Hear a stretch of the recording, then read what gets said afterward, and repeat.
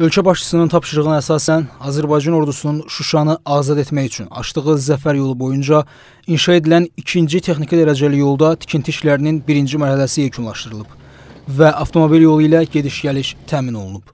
Cari ilin sentyabr ayında isə zəfər yolu tam olaraq asfaltlanıb istifadəyə veriləcək. Buna paralel olaraq ölkə başçısının Füzuliyə səfəri zamanı təməli qoyulan Füzuli şəhərindən Şuşa şəhərinə qədər uzanan birinci texniki dərəcəli magistral avtomobil yolunun tikintisi də davam etdirilir. Prezident İlham Əliyev Şuşaya səfəri zamanı bu yolu Zəfər yolu adlandırıb. Dövlət başçısının tapşırığına əsasən Zəfər yolu boyunca tikinti işlərinin birinci mərhələsi yekunlaşdırılıb. Cəmi 2 ay ərzində söz gedən yol 2 hərəkət zolağı ilə genişləndirilib, yeni torpaq yatağı inşa edilib, artıq Zəfər yolu ilə rahat gediş-gəliş təmin olunub. Bu ilin sentyabr ayına da isə yolun tam olaraq 2 hərəkət zolağı ilə asfaltlanaraq istifadəyə verilməsi nəzərdə tutulur.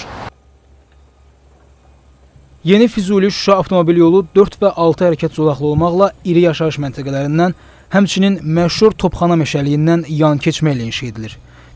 Müvafiq olaraq yol yatağının eni 29,5 və 21,5 metr təşkil edəcək. Yeni trassa üzrə hazırlanan layihəyə Şuşanın məşhur İsa bulağına da əlavə 2 kilometrlik ikinci texniki dərəcəli yolun inşa edilməsi də daxil edilib.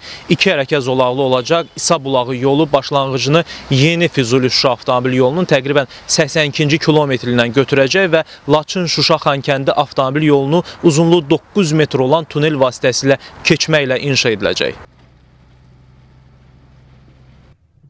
Yeni Füzuli-Şuşa magistral avtomobil yolu layihəsinin icrası 2022-ci il ərzində tamamlanacaq. Qeyd edək ki, Füzuli-Şuşa magistral avtomobil yolu başlanğıcını Hacıqabul, Bəhrəmtəpə, Mincivan, Ermənistan Respublikası ilə dövlət sərhədi magistral yolundan götürməklə işğaldan azad olunmuş Füzuli, Xocavənd, Xocalı və Şuşa rayonlarının ərazisindən keçməklə inşa edilir.